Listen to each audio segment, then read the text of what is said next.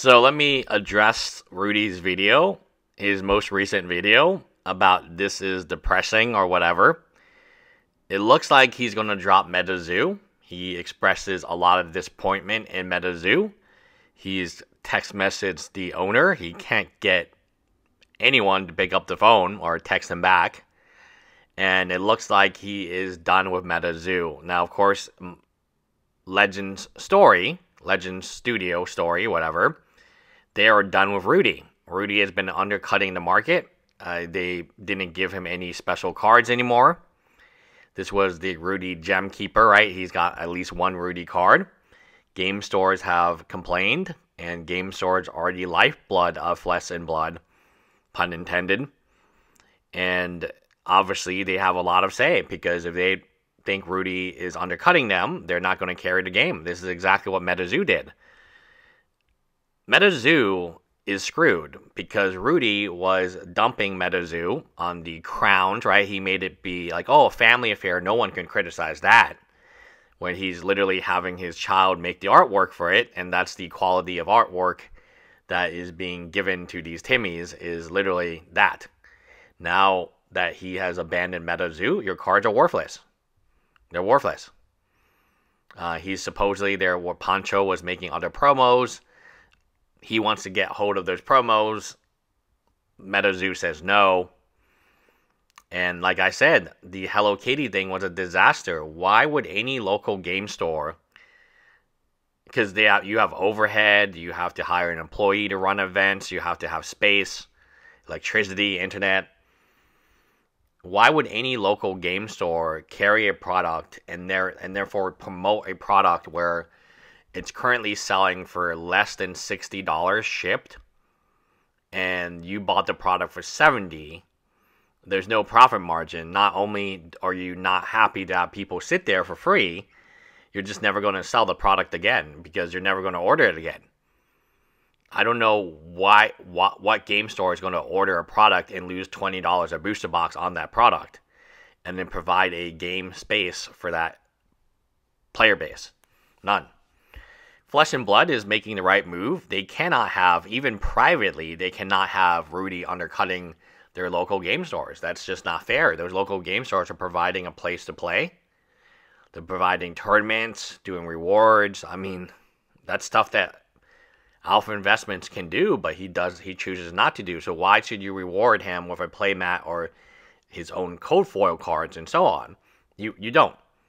Because if you do, then every game store will drop you.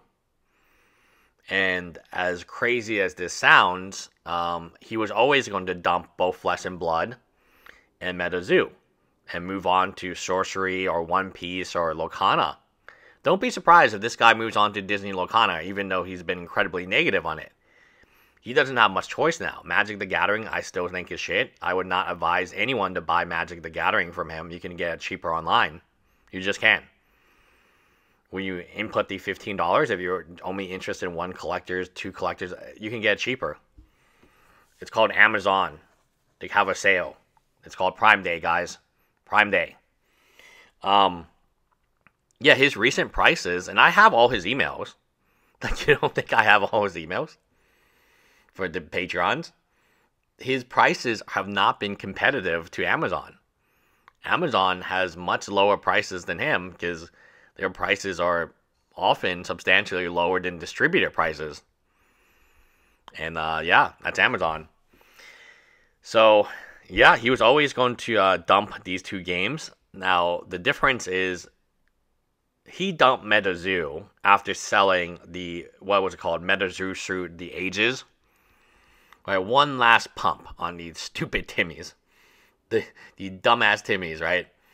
And then Flesh and Blood dumped him. Flesh and Blood will be okay. I might actually play Flesh and Blood in the future. I might even cover the content now that the that this individual Rudy has stopped pumping it and dumping it. I might even carry it in my future store. Who knows?